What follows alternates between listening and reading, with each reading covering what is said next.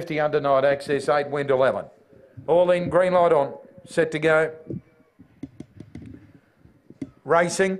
And uh, winning the start, Plummy's girl, Burbsky Bar going out hard and from the outside run, the routes going to cross and lead and dash down to the inside rail and cleared out now to Plummy's girl, followed by Miyagi Magic, Dinah Elliott, Burbsky Bar, followed by Under Night Access. Well back would have been Manners a Miss and tailing out Wendell Ellen. They strung right out of here. Plummy's girl went around to dash to the lead now to run the route, Miyagi Magic. Wide out Dinah Elliott, followed by Burbsky Bar, but Plummy's girl tried to hear at long odds is going to romp away and Plummy's girl lands some good bets and wins well.